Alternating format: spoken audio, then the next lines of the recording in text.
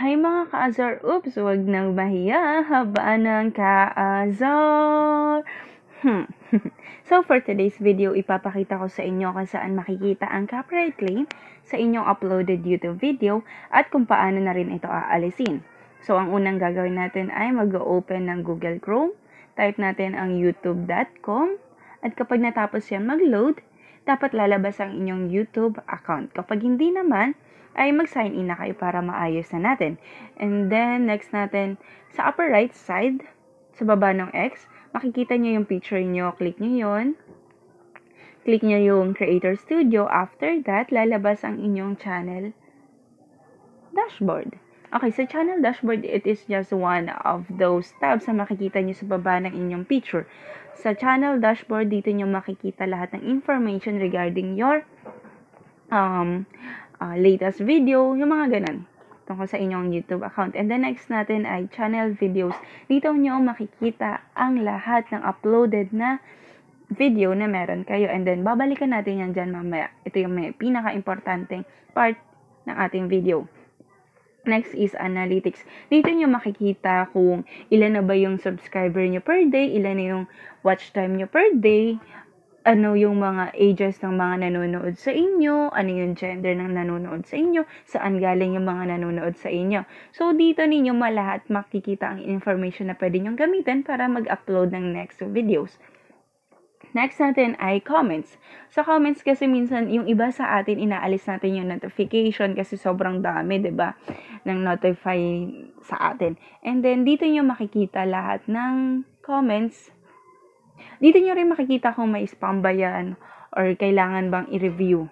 Next, subtitles. If you are aiming for audience or viewers from other countries like Japan, Korea, China, or even from USA, it's best for you to use subtitles para naintindihan nila.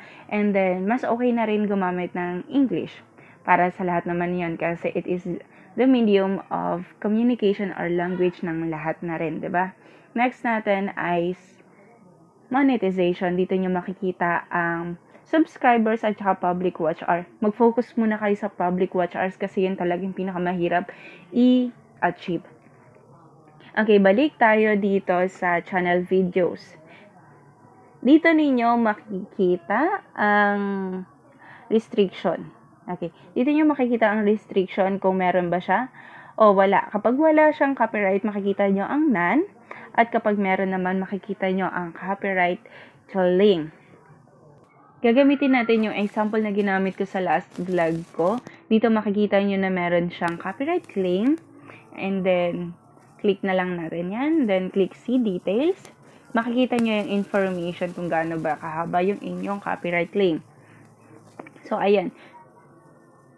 Ayan yung video. At yung white na yan, ayan yung merong copyright. And then, sa select action natin, maki- meron yung dapat tatlo. Meron yung trim video, tsaka um, replay song, mute song. Hindi siya pwedeng i-trim kasi buong video siya, wala nang matitira doon. Kaya, ang lumabas lang ay trim at saka mute. So, tatry ko lang muna yung mute para lang pakita sa inyo. Pwede nyo i-preview, pwede nyo ring ihindi. Pwede kayo mag-continue na kaagad.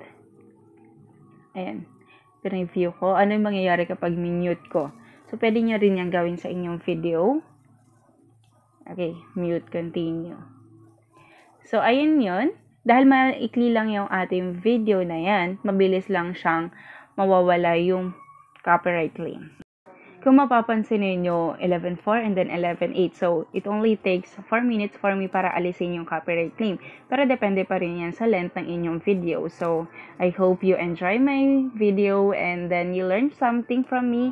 So, don't forget to like and subscribe with notification bell. Uh,